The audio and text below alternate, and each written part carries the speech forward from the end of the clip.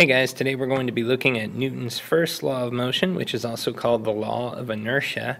And to help us sort of understand what's going on here, we've got a video.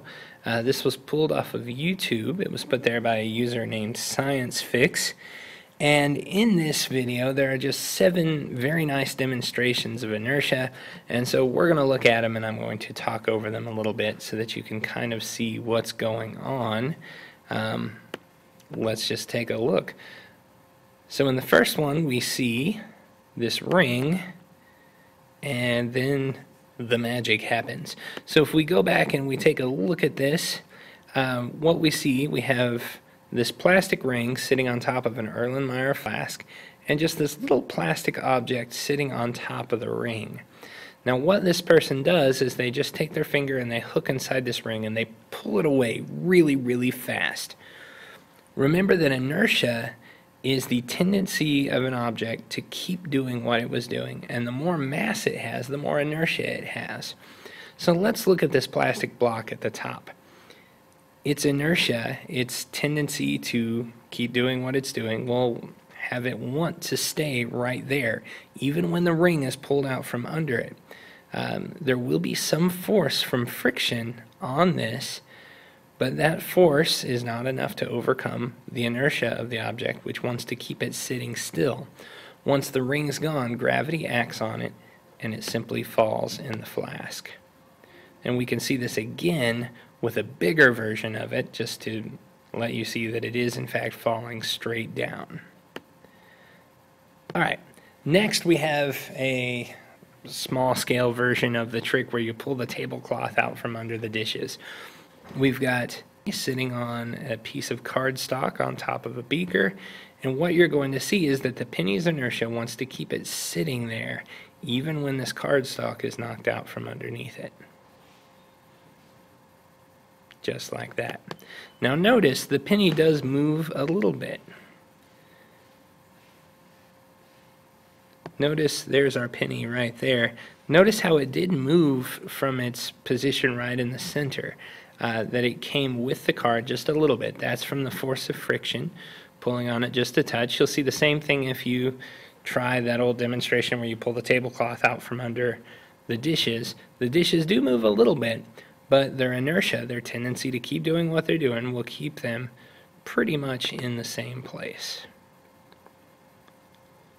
All right, our next demonstration, and this is a series of three right in a row, uh, will show you the relationship between mass and inertia. The more mass something has, the more inertia it has. And what you're going to see is three times this person is going to pull this piece of paper out from under the beaker right there. Once with the beaker having a lot of water in it, so that's more mass, and then with less water, less mass, and then no water, so even le um, less mass than that, excuse me.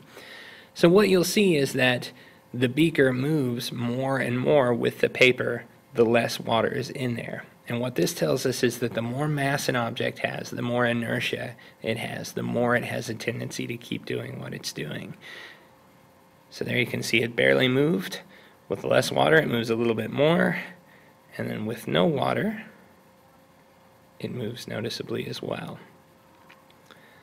All right, here's a fun one. We stab this poor defenseless apple, and then what you're about to see is that this person is going to slam their fist down on the counter very, very fast. Now remember, the apple is suspended on the knife, so it's been stabbed and it's sitting there.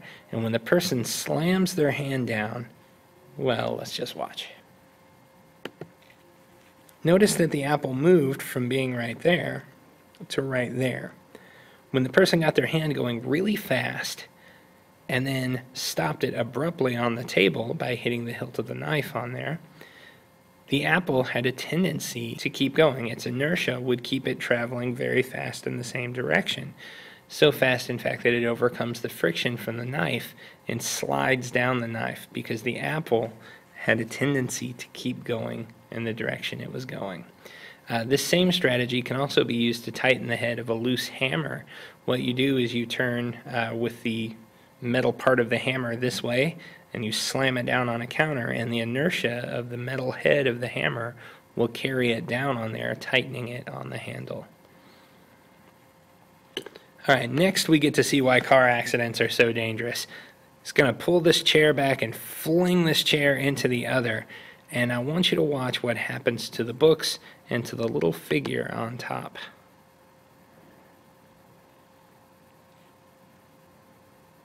Wait for it. All right, notice that when the chair stopped, the books and the figure on top of the books didn't stop.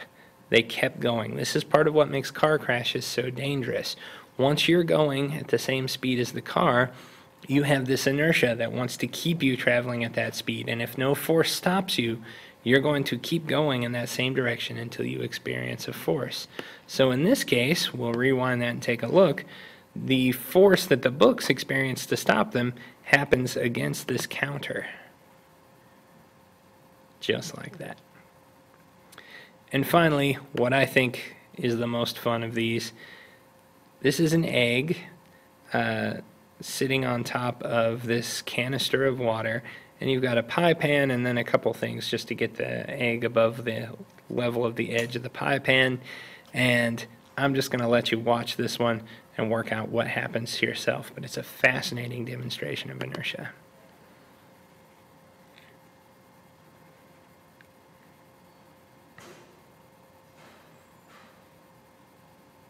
And there you go.